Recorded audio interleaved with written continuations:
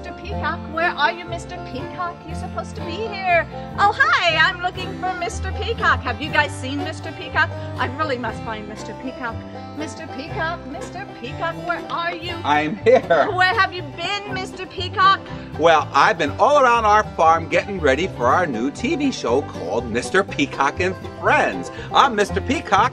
I guess I'm Mrs. Peacock and I'm always looking for it. And I guess you're our friends. Yes, we're going to show you all kinds of cool things that have to do with peacocks. like feathers. See? See the feathers? Aren't they aren't they pretty? They Yeah, can't they see nice? me. I know, that's the whole point. They don't No! wanna see. Move those if you're gonna away. disappear, then you just will not be here now. Well, we're going to show you other things besides what you can do with peacock feathers. We're going to talk about other things. You want to tell them?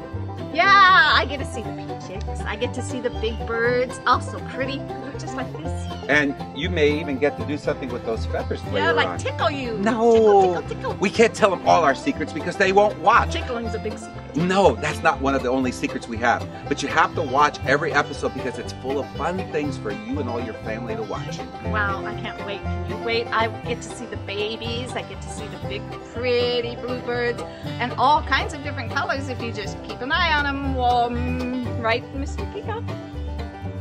Uh, oh, Mr. Peacock, is he gone again? Did you guys see where he went? I bet you didn't. You're just not going to tell me. Well, I guess he's off on another adventure for Mr. Peacock and friends, so I guess until then, I'll see you later. I better go find him. Mr. Peacock! Oh, Mr. Peacock! Mr. Peacock! Mr. Peacock!